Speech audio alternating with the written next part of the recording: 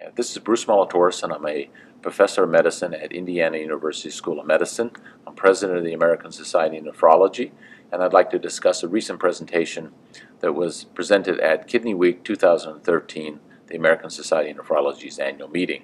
The study was presented by Jeanie Park, who was a physician at Emory University School of Medicine in Atlanta, and she was interested in the potential of mindful meditation in reducing blood pressure in patients with chronic kidney disease and hypertension.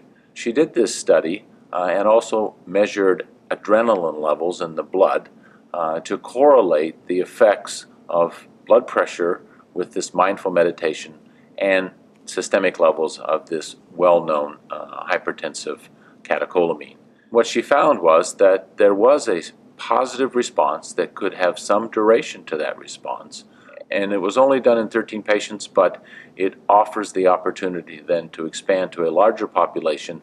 And this is yet another, obviously very inexpensive way to help minimize the ravaging effects of hypertension in this specific population.